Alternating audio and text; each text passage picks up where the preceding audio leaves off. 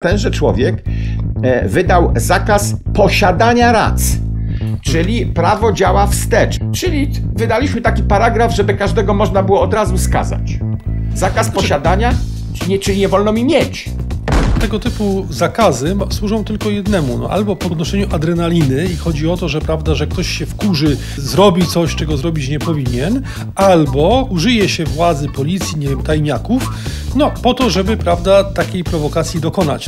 Gdzieś tu znalazłem informację, że e, Radek Sikorski składa kwiaty pod pomnikiem Piłsudskiego. Oj, oj, oj, oj, oj, to mamy narobione w krótkie spodenki, widzę. On powiedział tak, że żona nie jest przedłużeniem męża. Wszystko się posypało i się skończyło na tym, że Radek się od żony odcina.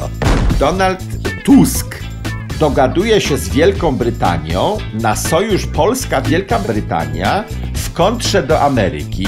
Ale on mówił, że są dowody na to, że Trump jest ruskim agentem. Panie Tusk, jak pan masz dowody, to niech pan je pokaże.